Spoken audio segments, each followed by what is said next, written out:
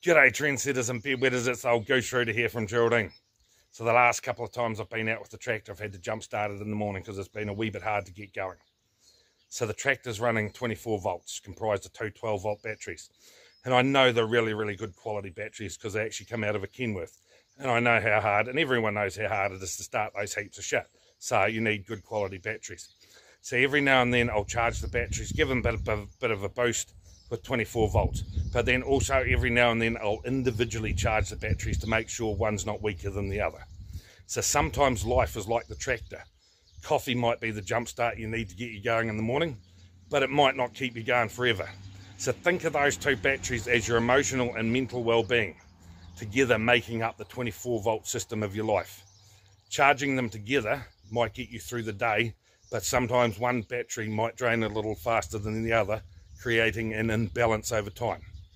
By recharging each battery separately, you're making sure your emotional and mental reserves get the boost they need, keeping the whole system strong and giving you the resilience and balance to keep going with whatever life throws at you.